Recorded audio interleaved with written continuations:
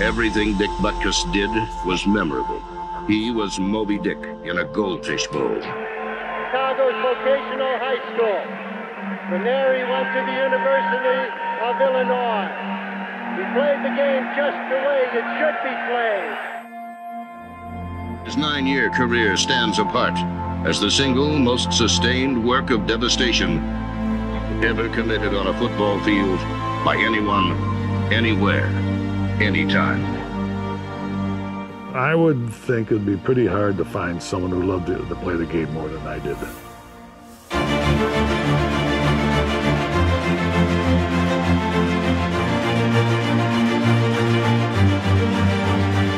Dick was not satisfied with just an ordinary tackle.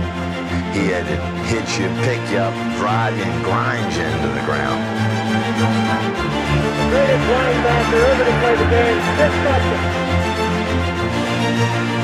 Dick Butkus football was never a game, but a street fight. A place for all out, no holds barred warfare.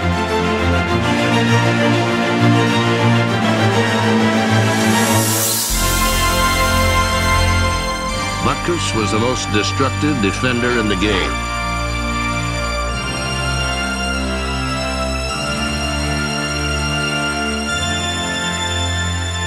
Man was uh, unbelievable.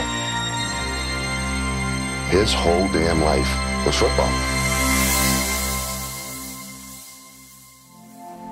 Uh, you know, I'm really not the tough macho guy that was only during the game, and uh, no matter how hard you try to explain that, it, sure you were, you know. so